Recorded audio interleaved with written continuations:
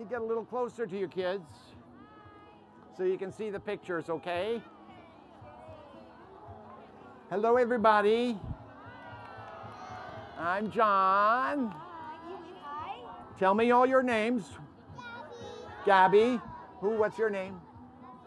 Oh, yes, that's a good name. What's your name? Oh, Lily, that's a nice name. That's one of my favorite names. Get, why don't you get, let's get a chair for you. You shouldn't have to stand up. You're sure you're all right? Okay. Well, I'm going to read you kids' books today with wonderful pictures. That's the reason why I came down a little closer to you so you can see the pictures. If you kids over there, if any of you want to come a little closer and sit right in the grass, I guess it's a little bit damp, but come on over here so you're nice and close. It's pretty wet grass, but it might be nice to get a little wet today. How is this? Is this a little bit better? I'll move back a little bit and then you can be in the shade too. Ooh, it really is wet. I don't want you to get wet bottoms. You're a little old for that, aren't you? Okay, I'm going to read you. These are books that I wrote myself.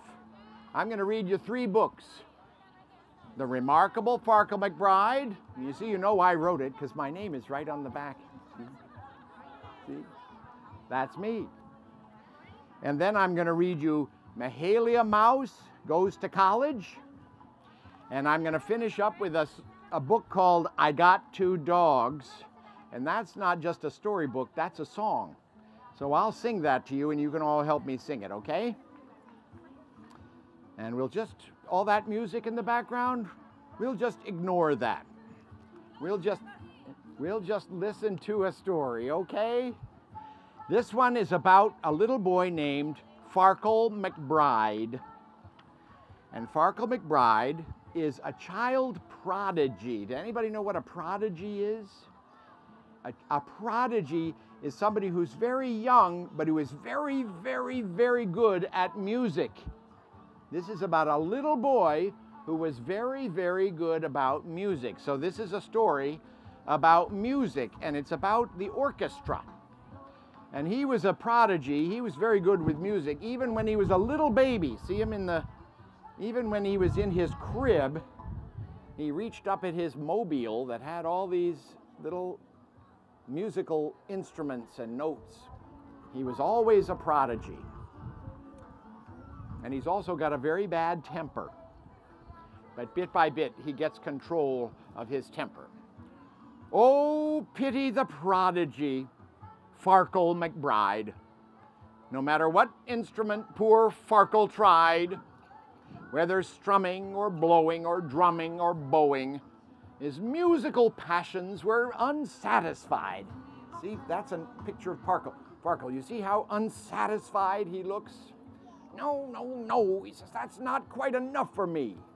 That's the picture of Farkle McBride. Can everybody see Farkle in the back? When Farkle McBride was a three year old tyke, all freckly, bony, and thin, he astonished his friends and his family alike by playing superb violin. See him up in the corner playing the violin? He was a very good violin player even when he was only three years old. He went reedly deedly deedly dee with all of the strings at his side. Reedly deedly deedly dee, the remarkable Farkle McBride. See him playing the violin with a great big orchestra, and he stands in the string section. The strings is where the violins and the violas and the cellos are, and the big bass fiddles. He's, he played with the strings and he was very, very good at it. But when he was four, Farkle played it no more, in spite of his parents beseeching. He shattered the records he used to adore. He smashed up his rosin, ripped up every score. He threw fiddle and bow to the living room floor as he shouted, Enough of your screeching!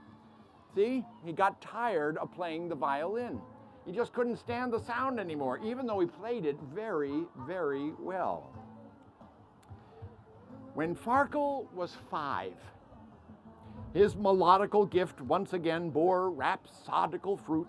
The woodwinds inspired his spirits to lift, and he rapidly mastered the flute. See him playing the flute in the window? And there's a little bird out there singing outside the window because don't worry, you'll see him. See him playing the flute? And why do you think the birdie is singing along with him? Why? Because a bird sounds just like a flute, and he likes that sound. But what do you think is going to happen? Well, first of all, he plays with the orchestra. He went roodly toodly toodly too with all of the winds at his side.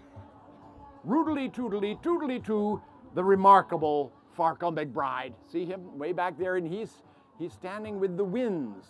It's the wind section of the orchestra. That's the oboes and the clarinets and the bassoons and the, the piccolo and the flute. But at six, Farkle flung his flute into the lake, notwithstanding its lyrical trill. He stamped on the dock till you'd think it would break. That's it, he exclaimed. I've had all I can take. That tootling gives me a brutal headache. It's so wimpy and whiny and shrill. See, where does he throw his flute? Where does he throw? Into the lake. And look, because he just didn't like the sound of it anymore, even though he played it beautifully. He made a beautiful sound, but he got tired of it. But he kept getting tired of the music he was making, even though he was very good at it. When Farkle was seven, a different sound rekindled his musical flame. He became the most expert trombone player around, and the boulevards buzzed with his name. Look at him playing the trombone. Can you say trombone? Trombone. It makes a wonderful sound. It makes a sound like he went roopity doompity doompity doom with all of the brass at his side. Roopity doompity doompity doom, the remarkable Farkle McBride. And there he is playing the trombone in the brass section. And the brass section has the trombone and the trumpet and the tuba, all the things that you make a big, bright, brassy sound with. But at eight, he declared to his parents' despair, and as anyone else might have guessed, I can't stand the trombone with its blat and its blare. That racket is more than my eardrums can bear, so return it or throw it away. I don't care. I despise it just like all the rest. And where did he throw his beautiful trombone? In the trash. He threw it in the trash. You don't do that with a beautiful trombone. Yes, he got, he got tired of that one too. That's exactly what happened. He got, kept getting tired of all the instruments, even though he was very, very good at it. But when Farkle was nine, both his father and mum were bursting with pride and affection, for Farkle learned xylophone, cymbals, and drum, the entire percussionist section. He learned to play all the drums and the xylophones and the cymbals. Well, you should learn to play drums then, because they're really, really fun to play. Look at him. Look how much he enjoys it. He went boom, bash, clang, and a clash, all the racket that he could provide. Tinkly, bing, bong, bumpity, crash. The remarkable Farkle McBride. Look at him playing those drums. He was so good at those drums, but what do you think happens? What do you think happens to Farkle? He's did it again. Soon he fell prey to his usual gloom, despite all the praise and the flattery. First a sigh, then a sulk, then a frown, then a fume, then an ear splitting tantrum that emptied the room. I can't take it, he bellowed, the crash and the boom and the clang and the bang of the battery. Look at him, so mad. He takes those cymbals and he covers his ears with them. See how impatient and angry he is? What's the matter with that boy? He makes such wonderful music, but he doesn't like the sound of it. He gets.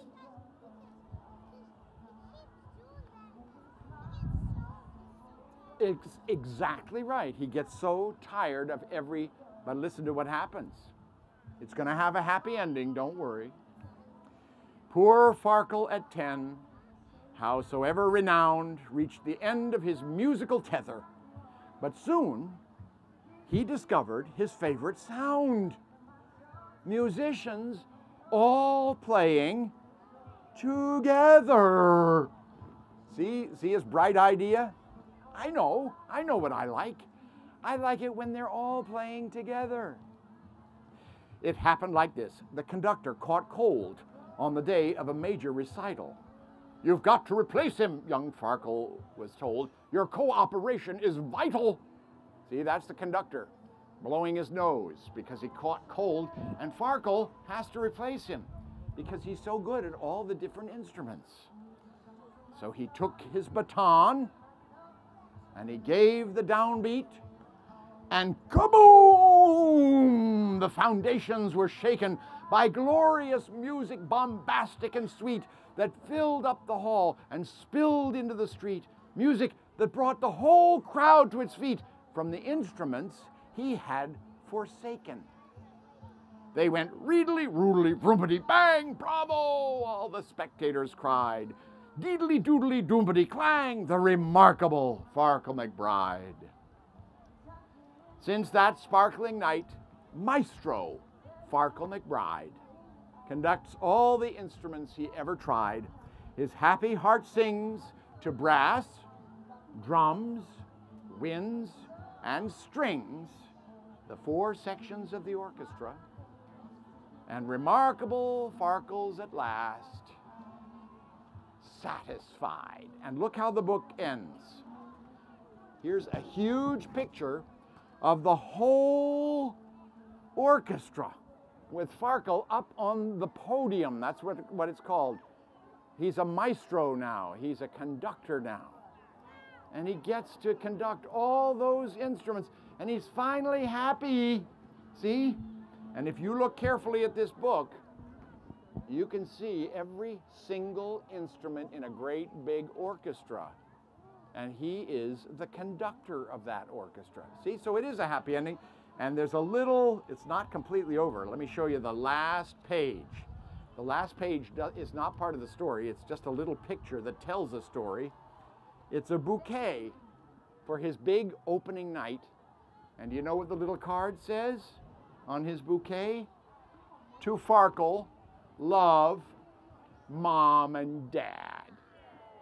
And that's the end of the story. You like that story? Me, I wrote it. Okay, this story is called Mahalia Mouse Goes to College. Now, I assume, I bet none of you go to college now, right? Raise your hands if you go to college. Nobody goes to college? Raise your hands if you want to go to college someday. Good for you! Good for you! Well, just keep on going to school, you'll get to college. And believe me, college is a wonderful thing to go to. And this is a story about how much fun it is. Your sister already goes to college? Well, you must be very proud of her. This is a story about Mahalia Mouse, a mouse who ends up going to college. Now, you're not mice, but Mahalia Mouse, you wouldn't think a mouse could go to college, would you? Well, eventually, Mahalia Mouse does go to college, just like all of you are going to college. Here goes. Here's the story, and I'll show you all the pictures. The skies of September were bursting with rain, pelting the old dormitory. It filled every gutter and choked every drain. Chapter one of Mahalia's story. See? It's a picture of a very, very rainy day in a college town. A family of mice huddled up to keep warm. Their basement was flooded with water. The mother peered out at the furious storm, then turned and addressed her young daughter. Mahalia, darling, she said with a sigh, your father's not back till tomorrow. So wrap up in newspaper, keep yourself dry, and find us some cheese or a scrap of meat pie. The children are starving, the babies may die. Then she faltered, consumed by her sorrow. See, they're in real trouble because in the basement of the dormitory there's a flood and they've got to find some water. uh, some food and water. So Mahalia, see, there's little Mahalia Mouse. She again set out on a mission to find some food. Mahalia hugged her, then scampered outside, sheltered by clumps of wisteria. In minutes, she'd found a secure place to hide in a hall by the dorm cafeteria. See her running through the quadrangle of the college? Nearby lay a backpack, unclaimed on the floor, smelling of cheese and roast beef. Mahalia climbed up inside to explore like a seasoned, self confident thief. She found a fat sandwich and plucked out the cheese, stuffing it into her sack. But suddenly, zip! A sharp sound made her freeze as everything faded to black. Imprisoned in darkness, she tumbled and tossed. But what could Mahalia do? Tormented by fears of a grim holocaust, she pictured her home and her family lost. A sack full of cheese had been bought at such cost. Mahalia's Tale, Chapter 2. The backpack went bump as it came to a rest, then zip opened up to the light. Peeping outside it, the mouse was distressed by a strange, unfamiliar sight. A room unlike any she'd been in before, full of rows upon rows of young students. In terror, she beat a retreat to the door, repenting her recent imprudence. But a voice held Mahalia fast in her place. This course is extremely advanced. It concerns the behavior of atoms in space, their collisions and fissions, their motion and pace. Don't take it unless you're an absolute ace. Mahalia Mouse was entranced. See, that's the picture of the professor in the college. In her lonely new lodgings, she took the course on, overwhelmed by its daunting regime. But one night as she slept in the hour before dawn, her mother appeared in a dream. My baby, she said in a quavering voice, you're off to a wonderful start. Don't think about us. Just believe in your choice. Be happy and follow your heart. See, that's her mother in a dream talking to Mahalia. Thereafter, whenever she sneaked into the class, the mouse would recall every word. But one day, in the midst of a lecture, alas, the unthinkable finally occurred. a mouse! An ear splitting shriek pierced the air, and instantly chaos took hold. Where? People screamed. Over there, over there! Some ran for an exit, some leaped on a chair. Mahalia, trembling with fright and despair, felt the blood in her body run cold. Everybody suddenly saw Mahalia in the classroom, and they all screamed and ran because they were so frightened of a mouse. The professor stepped forward to calm the class down. He stood at Mahalia's side. He stared at her notes with a studious frown. This mouse is a genius, he cried. Her grasp of the subject is sharp as a blade. This rodent will study with me. By noon, he had kept the bold promise he'd made. Her books were all purchased, her lab fees were paid. Her doubts and her fears were completely allayed. Mahalia Mouse, chapter 3. That day marked the start of four glorious years. Mahalia Mouse went to college. Admired and respected by all of her peers, she gathered a broad range of knowledge.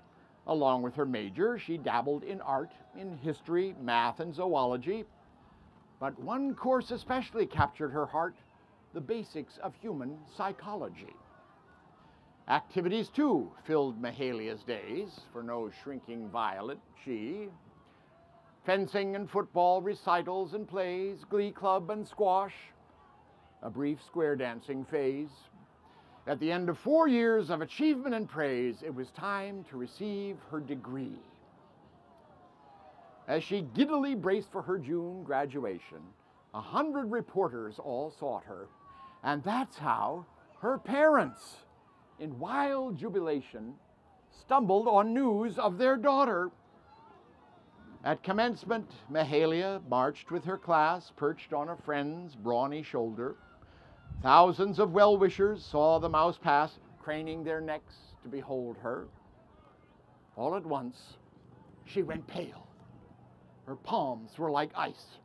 Her face wore a stricken expression. Her eyes were transfixed by a family of mice crouched alongside the procession. My mother! My father! Mahalia cried as she skittered on down to the ground. When she landed, her family rushed to her side, exploding with love, with relief, and with pride, a jumble of feelings too joyous to hide, for the child they had lost had been found. See, she runs to join her family, and they're all reunited. You know what that means? They all got back together again. And so we take leave of Mahalia's tale, a story of stout self reliance, an epic account on, a miniature scale of a mouse who set forth on life's bumpy trail and succeeded by simply refusing to fail. Mahalia, Bachelor of Science. And there's Mahalia at the end with her diploma. And that's the story of Mahalia Mouse.